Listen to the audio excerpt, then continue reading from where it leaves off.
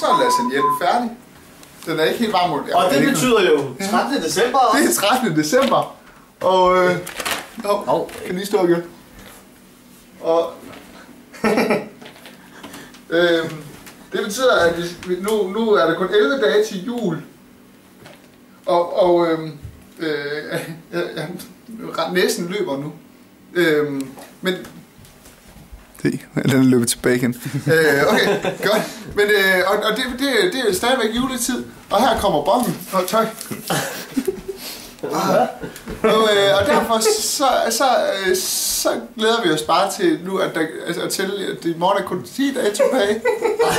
Ja. Så øh, gider jeg have en hånd fri, så jeg kunne sige sige, men det kan jeg ikke. Er vi julekalenderen? Du skal også lige åbne julekalenderen. Nå, jeg siger åben julekalender. Lige, Hvis du lige... Øh, den sidder fast nu. Nå, nå, nå ja, og så er der. Ja, Hov, hvad, hvad skete der der? det var det. Hvad var det? Er det det? Der er røget et stykke chokolade, det var den 24. Nej! Nej, nej, nej. Det var det. Nej, det, nej. det, var, det var den 13, ikke? Nej, jo, det er en 13. Nej, nej. Nej, hvad er det? Det, jamen, det, det ved jeg ikke. Det er jo en... Øh... Ja, Hvad er det? jeg tror, det var en... Var Øh... Ja, Nej, det var en Det dekoration. ja, det siger vi. Hvad siger du, Stine? Juledekoration, Ja, det måske. kan da også lyde, det ja. Nej, nej, så er det ikke mysen. Ja, sige. Nej, sige. Sig.